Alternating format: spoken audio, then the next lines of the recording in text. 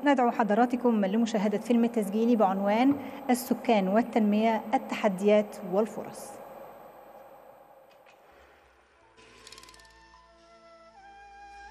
المشاهد دي مش من زمن بعيد. في أجيال لسه موجودين وسطينا وشاهدين على الوقت ده. الوقت اللي كان سهل فيه يروحوا مشاورهم يتعالجوا ويتعلموا صح. لكن في أقل من خمسين سنة كل ده اتغير. كل حاجة كانت سهلة بقت أصعب. وكل يوم بقت بتزداد صعوبة. الواقع إن المشكلة السكانية هي سبب كل التغير ده. في المئة سنة اللي فاتوا عدد السكان في مصر تضاعف ثلاث مرات وتخطى 100 مليون نسمة لأول مرة في تاريخنا سنة 2020 والملفت إن في آخر عشر سنين بس منهم زدنا أكتر من 20 مليون نسمة. تعرف إن الدقيقة اللي فاتت دي زدنا أربع مواليد؟ وبعد دقيقة هنزيد أربعة كمان. بحسبة بسيطة كل يوم بيتولد أكتر من 5600 مولود. يعني مع نهاية السنة هنزيد أكتر من 2 مليون نسمة. كل مولود منهم عنده متطلبات أساسية للحياة. محتاج مياه وغذاء محتاج تطعيمات ورعاية صحية. ولما يكبر شوية هيحتاج مرافق عامة ومكان للتعليم وبعدين هيحتاج فرصة عمل وسكن. ودي احتياجات أساسية توفيرها هو حق طبيعي ليه.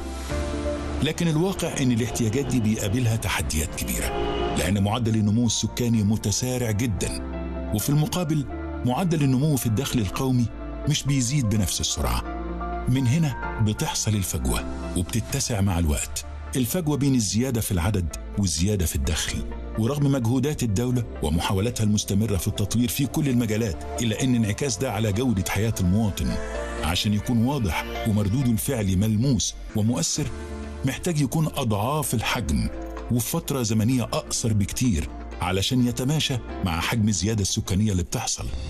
والحقيقة إن المشكلة الرئيسية مش في العدد لأن دول كتير عدد سكانها بيوصل لأضعافنا لكن فيها نمو اقتصادي كبير وجودة الحياة فيها أفضل.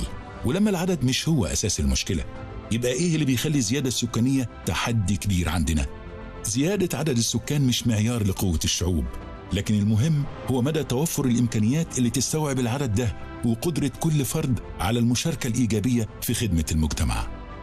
وده معناه إن الخصائص السكانية بتشكل دور محوري في حجم المشكلة من ناحية وزيادة الناتج المحلي وقدرة الدولة الاقتصادية عليها دور من ناحية، بس لازم نعرف إن العنصرين مرتبطين وبيتأثروا ببعض ويعتبروا وجهين لعملة واحدة. ومع إن الدولة خططت لبناء أكثر من 20 مدينة جديدة علشان تحسن سوء التوزيع الجغرافي للسكان وتهالك البنية التحتية واستصلحت ملايين الأفدنة علشان تزود كمية الغذاء.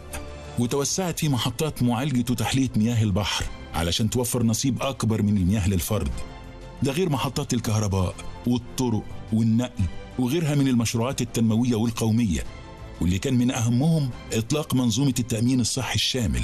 اللي بتشمل كل فئات الشعب المصري إلا أنه بدون معالجة ممنهجة للتحديات السكانية وتوقع اتجاهاتها القادمة ودمجها في السياسات والخطط التنموية هيكون من الصعب تغطية الاحتياجات المتزايدة. لكن خلينا نصارح نفسنا. المشكلة السكانية مش مسؤولية الحكومة لوحدها ولا مؤسسة بعينها في الدولة لأن ده نتاج تراكمات وجذور كلنا مشتركين فيها. وحلها الوحيد هو إننا نتكاتف كلنا. نوحد قدراتنا ومجهوداتنا ونواجه تحديات الزيادة السكانية علشان نقدر ننفذ برنامج سكاني يقدر يحقق التوازن بين معدلات النمو السكاني والموارد المتاحة ويعظم الاستثمار في الطاقة البشرية ويحسن خصائصها ونحقق بيه التنمية المستدامة. الفرصة لسه قدامنا.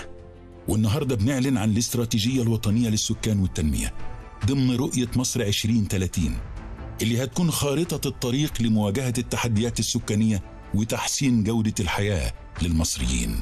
هنقدر من خلالها نحقق نمو مناسب ما بين السكان والاقتصاد.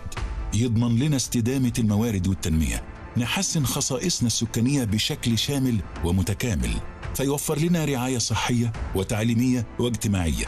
نمكن المرأة اللي هي أساس الأسرة فتعرف حقوقها وتزيد مشاركتها. نعتني بالشباب والمراهقين. نبني قدراتهم ونمكنهم. وندعمهم في الإبداع والابتكار وريادة الأعمال. نغير المفاهيم والسلوكيات من خلال تطوير استراتيجية إعلامية متكاملة. القضية السكانية هي قضية شعب قضية حقوق لحياة كريمة. ومش هنبالغ لو قلنا إنها قضية مصير. هدفنا واحد نحو سكان أصحاء من أجل تنمية مستدامة. هدف أي جهد تبذله الدولة لتحقيق التنمية هو المواطن. ملبية لطموحاته ومستجيبة لتطلعاته في العيش الكريم والسكن اللائق والعمل المناسب. نحو غد أفضل للأجيال القادمة. هدفنا واحد مهما الظروف اتصعبت الفرصة جاية وقربت